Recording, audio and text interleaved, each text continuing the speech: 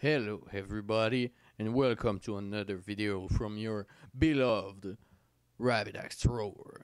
It's mid-October, in fact it's almost the 13th and for those who don't have any costume or disguise or suit whatever for Halloween, I'm here to save your ass.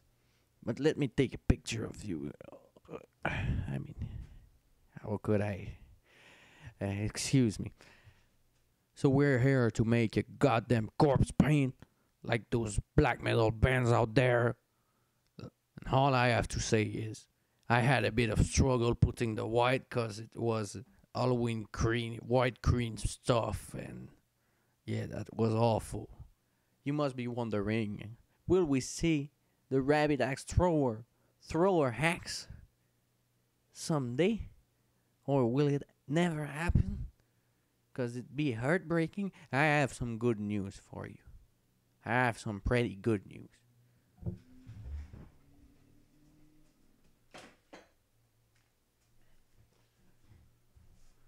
I just bought this axe. So that's a cool axe. It, it even comes with uh, this shit on it. And uh, so you can protect yourself. That's a pretty heavy axe. And uh, yeah, it, it's the camper axe. I, I spent 20 bucks on this shit, man. So we're gonna be able to see someone throw some fucking axe. And I, I bet you know who's the someone, huh?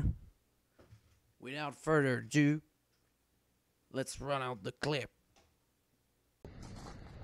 Fuck you.